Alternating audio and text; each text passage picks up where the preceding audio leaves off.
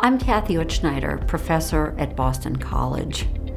My area of research is in goal achievement and performance through the lifespan.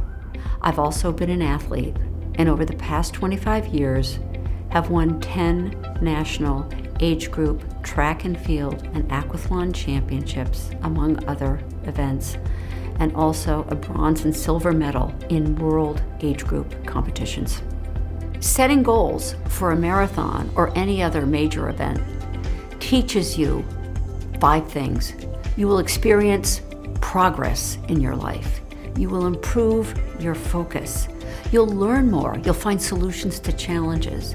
You'll align your habits with your goal. And most of all, you'll achieve a greater sense of calm in all areas of life, in your work and your personal life as well. You'll be inspired by applying my goal achievement method, published in four books.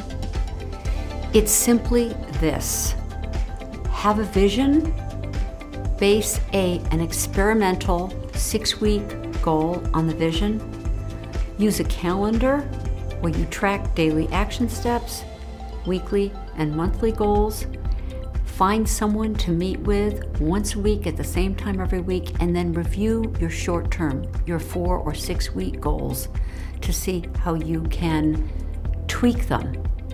You'll be inspired to learn how tiny action steps like these will transform your sense of life. You'll see it through a new lens. You'll have more, experience more achievement with more calm.